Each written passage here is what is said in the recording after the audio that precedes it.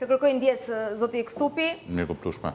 Do të diskutojmë rreth Djathtas 1912. Pritet që partia juaj të regjistrohet javën e ardhshme, si do të funksionojë, ju keni prezantuar që në krye të herës një plan në fillimisht edhe kartën e parimeve, por nuk ka një program të mirëfilltë. Si do ta organizoni le të themi, gjithë aktivitetin tuaj, sepse zgjedhjet janë shumë pranë, maji vjen shpejt, dhe mbi të gjitha, deri ku jeni me krijimin e strukturave, a e keni gati listën e deputetëve? Listën e deputetëve, po po, kemi rrugë. Meqenëse ju prisni, patjetër, patjetër, listën, sepse tashmë, ende nuk e keni fituar betejen, ju keni bërë një ankim, në gjykatë, por sigurisht që ju e dini se si...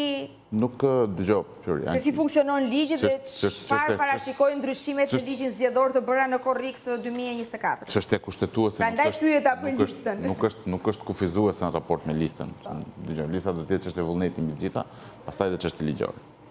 Edhe në rastin hipotetik që Gjykata e Lartë, Gjykata Kushtetuese nuk do ta ndryshojë ose nuk do ta pranojë kërkesën tonë, i kemi marrë masat që në të gjitha rastet në procesin zgjedhor të futemi me listë të hapur. Kështu që kjo është pothuaj e sigurt, nuk e ndryshon kjo. Për t'u kthyer tek thelbi i pyetjes, ne kemi depozituar kërkesën për regjistrim në gjykatë. Ashtu sikurse kemi deklaruar gjithmonë, drejtimi i partisë do të jetë një drejtim kolegjial, është një trup prej shtatë drejtuesish, shtatë personash, të cilët do të bëjnë drejtimin kolegjial të partisë në cilësinë e organit më të lartë. Pra përfaqësues ligjor nuk do të jetë vetëm një, do të jenë shtatë persona te gjykata, sepse unë e di që një si si funksionon. Do të jenë të shtatë përfaqësues ligjor kur të regjistrohet. Të shtatë do të regjistrohet, domethënë, organi drejtues në vend të cilësisë së organit monokratik, që do të ishte organ me një person, është kryetari në rast, është organ kolegjial dhe organi kolegjial regjistrohen të gjithë emrat e organit kolegjial në gjykatë si drejtues të subjektit politik. Kështu që kjo është një çështje që i kemi qëndruar asaj që kemi thënë që në fillim, të paktën kjo do të vazhdojë deri në fund të vitit 2025, gjatë kohë gjatë të cilës pastaj mbas zgjedhjeve presupozohet që të hyhet në një proces të rregullt zgjedhor brenda partisë dhe Sa i përket strukturave? Kemi punuar gjatë gjithë kohës me strukturat, duke filluar që nga muaji gusht kemi punuar me strukturat. Në pjesën dërmuese të qyteteve kryesore të vendit të qarqeve, kemi ngritur strukturat tashmë. Kemi disa vështirësi në një apo dy qarqe të mëdhaja, vështirësi që shpresojmë t'i anashkalojmë. Vështirësi të natyrës? organizative, do të thotë, me thënë, të duhet për të arritur një strukturë caktuar, duhet një numër i caktuar njerëzish që janë të vullnetshëm të angazhohen aktivisht. Nuk është çështja të vërtë pasur simpatizant. Çështja e simpatizant se duhet bëjmë një diferencë shumë të madhe në mënyrën e organizimit partisë. Ka simpatizant që do të thotë njerëz që mbështesin partinë ose mund ta votojnë atë dhe ka njerëz aktivë të cilët duhet merren aktivisht me ndërtimin e strukturës dhe me punën e përditshme politike. Se kthehemi gjithmonë ke diskriminimi. Përmenda kartën e parimeve që ju e keni publikuar që në fillim, kur shpallët subjekt, krijimin e subjektit të ri politik. Po për programin, çfarë do të ndodhë? Sepse ju jeni hartues i një programi që është paraqitur nga zoti Basha përpara datës njëmbëdhjetë qershor, kur zoti Basha kishte dhe vulën dhe logon e partisë demokratike dhe zoti Basha vazhdon e trumbeton atë program, pavarësisht se nuk ka një parti, ka një lëvizje, lëvizja demokratët euroatlantikë, çfarë do të ndodhë me programin, se pak a shumë idetë tuaja tashmë njihen, sepse i keni shprehur në programin e zotit Basha, zotit Basha. Partisë demokratike përpara njëmbëdhjetë qershorit. Që të bëjmë një diferencim, ne kemi caktuar sot që flasim, dhjetë dymbëdhjetë pikat kryesore ku do të bazohet programi, që do të thotë, nuk do të bëjmë një program shterues në çdo dimension dhe në çdo hall. Mendoj që Shqipëria ka probleme shumë të mëdha, të cilat duhen diskutuar në makro skemën e funksionimit të gjërave, për të dalë pastaj nga kjo makro skemë dhe për t'u marrë me gjëra shumë të shumë të detajuara për të cilat nuk besoj që qytetarët kanë interes. Qytetarët pikërisht këtu kanë interes për zgjidhje të qarta, Pra, ndonjëherë janë disa pyetje që tingëllojnë vërtet naive, por që sqarojnë të gjithë qytetarët. Kur flasim për gjërat madhore, që do të thotë, gjëra madhore është, me thënë një nga gjërat më madhore që sot kemi problem ne është kush është drejtimi ekonomik i Shqipërisë. Nëse ti nuk zgjidh se kush është drejtimi ekonomik i Shqipërisë, ti nuk mund të zgjidhësh asnjë nga problemet sekondare. Që do të thotë, nëse ti nuk përcakton se kush janë shinat ekonomike që do të ecë Shqipëria, do të jetë turizmi, bujqësia, industria dhe ti zgjedh dhe në bazë të atyre shinave ti pastaj detajon dhe mënyrën se si duhet të sillesh në raport ose në karshi qytetarit sepse nëse ti do të vësh si prioritet turizmin atëherë e gjithë infrastruktura shtetërore dhe gjithë vëmendja kryesore e mënyrës se si të organizohet shteti bazohet në atë shinë ekonomike nëse do të zgjedhësh bujqësinë do të zgjedhësh një shinë tjetër ekonomike pra ku do të fokusohet nëse ti nuk zgjidh problemin sot problemi që ne kemi sot dhe është problemi nga i cili derivojnë të gjitha problemet e tjera. është që ne nuk kemi një qartësi ekonomike se ku do të shkojë Shqipëria dhe nga kjo na na vjen mungesa e krahut punës, na vjen informaliteti në ekonomi. Pra s'ka një strategji të mirëfilltë. Po s'ka më është sot, me thënë ne kemi më shumë se dymbëdhjetë vjet që ecim në një situatë të shikojmë se ku po shkon vetë ekonomia. Shteti qeveris, shteti, se ça ndodh? Ti ke dy probleme kryesore sot. E para punë që nuk ke një vizion ekonomik, Si jemi një vënd që nuk prodhojmë? Jo, dhe nuk është kjo. Dhe e dyta është që ti ke lejuar informalitetin në ekonomi, po të marrësh të shikosh shifrat e buxhetit, ti do të shikosh që raporti ndërmjet ekonomisë formale dhe ekonomisë informale është i njëjtë në njëzet e katër vitet e fundit. Nuk ka ndryshuar fare. Që do të thotë, ti vazhdon të lejosh të rritet ekonomia informale dhe ekonomia informale çfarë të prodhon? Të prodhon ty pamundësinë për të adresuar sistemin ekonomik aty ku ti kërkon. Dhe pas gjithë këto problem. Ke shpallur luftë informalitetit. Nuk është çështje lufte ndaj informalitetit. Duhet të kuptosh një, informaliteti do të ekzistojë gjithmonë. Problemi është që nëse ti adreson çështjet ekonomike, informaliteti do fillojë të zvogëlohet për shkak të adresimit që ti i bën. Dhe ti nuk mund të lejosh sektorin e ndërtimit në Shqipëri të zërë 17% të prodhimit të përgjithshëm të brendshëm bruto. Nuk mundesh, sepse është deformim ekonomik, në të gjitha vendet ku kjo ka ndodhur ke pas kolapse të mëpasshme, që do të thotë, nëse nuk adreson çështjet kryesore, nuk mund të arrish te pensionet. Zoti Ksupi, përpara zgjedhjeve, ndryshe nga ç'ka ndodhur në zgjedhjet e mëparshme janë krijuar disa parti të vogla dhe këto parti po kuotohen, po të bazohesh tek sondazhet renditen me pikë Mirë, pra nuk janë më në nivel të papërfillshëm, le të themi. Po. Pra kanë një lloj kuotimi. Dhe sigurisht që ekziston dhe mendësia që partitë e reja lindin gjithmonë për t'i prishur punë një partie të madhe ose për t'i ndrequr punë një partie tjetër të madhe. Besoj dhe ju e keni dëgjuar këtë. Si do ta shuani çdo lloj dyshimi Tek ata qytetarë që ende nuk kanë besim. Që ta shpjegojmë gjënë. Ne kemi bërë disa parime bazë mbi të cilat do të ndërtonim ose, me thënë, ë do të ishte mënyra për të ndërtuar një koalicion të mundshëm. Do të thotë, që të shkohet në zgjedhje ti duhet të kesh kush është objektivi jot primar. Objektivi primar është ti të bësh të pamundësosh, pra aq sa është e mundur, do të japësh kontributin tënd për të bërë të pamundur që Maxhoranca aktuale të marrë shtatëdhjetë deputetë sërish. Thënë ky është objektivi primar që duhet të ketë çdo opozitë. Nëse duam të kemi një rotacion politik, në fakt duhet të kemi ndryshim të sistemit. Do të duhet që fillimisht të mos kemi një forcë politike që e kalon shtatëdhjetë mandatet për të pasur dhe për të qeverisur e vetme. Ku fillon e para. E dyta mbasaj do të ishte që ti nuk mund të pranosh të bësh një koalicion me maxhorancën aktuale për një qeveri të ardhshme.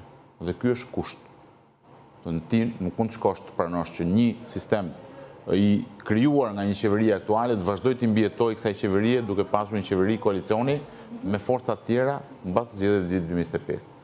Dhe këtu ndahen dy piketat kryesore. Që do të thotë, parimi me të cilin ti shkon në zgjedhje është të luftosh kundër kësaj qeverie dhe dyta, parimi që ti shkon pas zgjedhjeve është që në asnjë rast ti mos bësh koalicion me këtë maxhorancë. Me kë do të bëni ju aleancë? Një sekondë, se duhet edhe këtu ka disa parime. Domethënë kur Kur u nisëm të krijonim të partinë, u nisëm të krijonim për dy arsye. Njëra nga arsyet ishte se ne kishim krijuar një identitet politik për një luftë kundër berishizmit e kemi quajtur në atë po, kohë. Po. Por nuk është një nga nuk është nuk është berishizmi në nocionin e individit Berisha. Është berishizmi në mënyrën e sjelljes në politikë, që do të thotë autokracia e brendshme e partive politike, mungesa e demokracisë së brendshme e partive politike, e cila pastaj na sjell të njëjtin model qeverisje, se ne themi që është Rama autokrat. Por Rama është autokrat brenda partisë tij, pastaj është autokrat brenda shqiptarëve dhe e njëjta gjë vlen dhe për Sali Berishën brenda partisë tij dhe për dhe për Ilir Metën brenda partisë tij. Që do të thotë është një model i tërë i krijuar në të cilin njëshi dhe uni janë gjithçka brenda partisë. Nëse nuk prishet ky model, kushdo që do vijë në qeveri nesër do të sillet njësoj si Rama. sikur se është sjellë Berisha gjatë kohës që ishte ai kryeministër, të njëjtën gjë do të bëjë do të bëjë dhe pasardhësi i Ramës nëse modeli brenda partive politike nuk ndryshon. Do ju bëj disa pyetje të drejtpërdrejta që kanë qarkulluar Dhe unë përgjigjen do jap shumë më më më të drejtpërdrejtë. të subjektit tuaj politik. E para, ku i gjeni paratë? Kush e financon forcën tuaj politike? Sepse kuotat nuk besoj se mjaftojnë. Absolutisht, jo nuk nuk ka kuota për momentin, se që të po, kesh kuota duhet të kesh duhet të kesh duhet të kesh. Po, po, po. Okej. Shpenzimet që ne kemi sot janë super minimale. Do ne sot nuk kemi as seli, nuk bëjmë as shpenzime në Ku mblidheni? Në lokal? Po kemi zyra, kemi zyra private kjo. Nuk kemi seli ligjërisht, por kjo nuk do të thotë ne jemi të gjithë. Gjithsesi, gjithë gjithë kostot, karburanti, automjetet, po, pankartat, logo. S'kemi pankarta, s'kemi logo, s'kemi, do të thonë jemi, do të thonë gjithçka që kemi sot janë takime që ne bëjmë me njerëzit që janë pa kosto ose janë kosto që mund të përballohen nga xhepi i gjithsekujt që shkon ta bëjë takimin. Të ndizen motorët e fushatës do kërkohen edhe këtu. Absolutisht po. Absolutisht po. Si do i siguroni? Po sepse do... Për të shuar dhe zërat që qarkullojnë se kush ju financon, se si ju financon, se jeni një, le të themi, jeni një investim i të po, po, majtës, po, besoj i keni dëgjuar të gjitha. I të majtës, i të djathës, i të mesit, po pas një lloj shqetësimi një pjesa. Mhm. Çështja është që në moment që krijohet subjekti politik, ty fillon detyrimi për të për të bërë deklarimin e gjithë të ardhurave që shpenzohen. Mhm. Dhe duke qenë se ne e kemi pasur një nga shqetësimet kryesore, çështjen e financimit të partive politike dhe kemi pasur dhe projektin i cili duhet të ndryshojë në Kodin Zgjedhor, që do të thotë Kodi Zgjedhor duhet të përfshijë një ndryshim thelbësor në raport me mënyrën si financohen partitë politike, në momentin që do të krijohet subjekti politik në faqen zyrtare të uebit të subjektit politik do të jenë dhe shpenzimet që kryhen për çdo eveniment dhe burimin e tyre. Do ketë transparencë. Absolutisht. Do ta bëjmë Atëherë, do ta bëjmë publike një pyetje gjithçka në kohë tjetër, reale. ë, zoti Kthupi, që besoj ju e keni dëgjuar, sepse tek e fundit politika është perceptim, por është edhe intrigë, është edhe thashethem. Sa qëndron Lulzim Basha përpara, ë, pas këtij subjekti? Sepse, Zero. duke qenë se Lulzim Basha ende nuk ka krijuar një subjekt politik, ka vetëm një lëvizje. Shpesh, besoj dhe ju e keni dëgjuar, sepse jeni pjesë e tryezave edhe politike, që faktikisht drejtuesi kryesor i kësaj lëvizje është Lulzim Basha.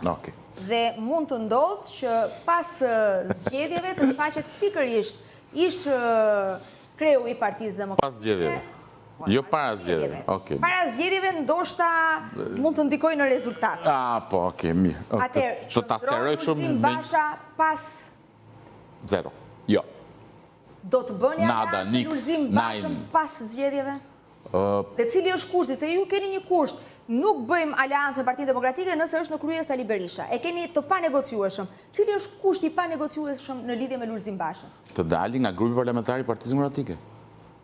Sot Lulzim Basha ka kryetar të tij Sali Berishën. Kaq, këtu mbaron diskutimi. Pas zgjedhjeve nuk do jetë më, sepse normalisht Këtë është është për tu është për për tu është për t'u parë. Pas pas zgjedhjeve është pas pas zgjedhjeve është gjithçka. Basha shfaqet te Djathta 1912. Një një sekond se po e ndërton pyetjen. Po e ndërton po po e ndërton po e ndërton po e ndërton pyetjen në formën e gabuar. Se ti e ndërtove pyetjen nëse ai shfaqet tek Djathta. Domethënë, e para punë që shfaqet pas zgjedhjeve, duhet të jetë përpara zgjedhjeve, se nuk ka pse të shfaqet pas. Tani ne kemi parë dhe kemi dëgjuar nga të gjitha, kështu që pyetja ime bën shumë sens. Si do shfaqet? Ne kemi parë edhe edhe aleanca që ndoshta s'i kemi menduar ndonjëherë. Dëgjo. Nëse pas zgjedhjeve, do të them, sqarojmë pjesën para zgjedhjeve përpara që t'i marrim gjërat në rend. Para zgjedhjeve e dimë që nuk do funksionojë. Kjo është nuk do ndodhë. Nuk ka, nuk ka. Zoti Basha, ndarja me zotin Basha ka qenë pikërisht për krijimin e subjektit të ri politik. Zoti Basha donte të mos krijonte një subjekt të ri politik, ne donim të krijonim një subjekt të ri politik, kjo ka qenë ndarja thelbësore dhe ndarja dytësore ishte që ne kërkonim që subjekti i ri politik të kishte një drejtim kolegjial dhe këtu pastaj ndahen përfundimisht rrugët. Zotëria ka vendosur të ketë rrugën e tij politike, është i lirë të vazhdojë të kryejë misionin, funksionin apo vizionin e tij politik. Për sa i përket aleancave paszgjedhore, kthehemi ke kjo gjë. Aleancat bëhen me subjekte, nuk bëhen me individë. Për momentin s'e ka një subjekt. Është problemi i tij, nuk është problemi im. Flas se çfarë, me çfarë bëhen aleancat. Dhe nëse do të shkojmë në logjikën që ne nuk bëjmë aleancë me maxhorancën aktuale, mhm. do të thotë që çdo aleancë paszgjedhore me subjekte që nuk janë maxhoranca aktuale, është afërmendsh e mundshme. Por kjo do të mbetet gjithmonë e kushtëzuar nga çështjet programore, sepse zonjë e dashur, nuk është detyrimisht që të krijojmë qeveri.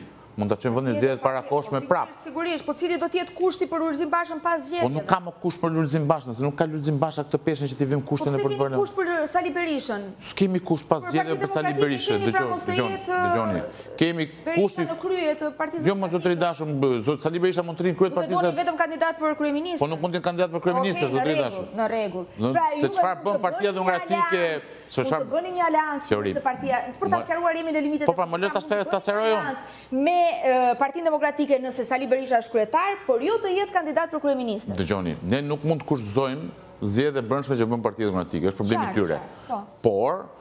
Nëse bëhet fjalë për të pasur një kandidat të përbashkët për kryeministër që do të ishte logjika më e mirë e mundshme për të mundur maxhorancën aktuale, që do të thotë i gjithë fraksioni opozitar të bashkohej, do të bashkohej rreth një kandidature për kryeministër. Nëse ky kandidat për kryeministër është Sali Berisha, ne nuk mund të kemi marrëdhënie me Sali Berishën, do të ecim në rrugën tonë. Dhe kjo gjë vlen dhe pas zgjedhjeve, që do të thotë nuk mund të dalë një kandidat për kryeministër pas zgjedhjeve dhe pastaj të kërkohet që të bëhet aleat. Nuk ka aleancë, Nëse kandidati është Sali Berisha për një arsye shumë thjeshtë, sepse ne gjykojmë që Sali Berisha është larguar, jo, që po gjykojmë Sali Berisha është larguar me votë nga pushteti në 2013-ën dhe nuk mund të rikthehet sepse nuk ka asgjë më se çfarë t'u jap shqiptarëve. Zoti Kthupi, unë ju falenderoj shumë për prezencën dhe për gjitha informacionet dhe opinionet që ndatë me ne. Ju uroj shumë suksese në iniciativën tuaj. Kalojmë në publicitet, rikthehemi vetëm pas pak në Breaking.